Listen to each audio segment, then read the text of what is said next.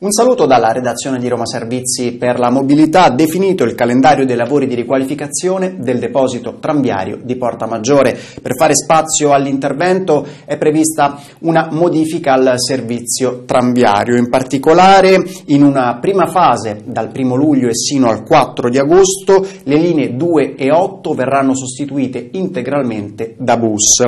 La linea 3, come accade già adesso, viaggerà su bus tra Porta Maggiore e Valle Giulia e la 19 tra Porta Maggiore e Piazza Risorgimento, servizio regolare su rotaia per le linee 5 e 14. Maggiori dettagli romamobilita.it.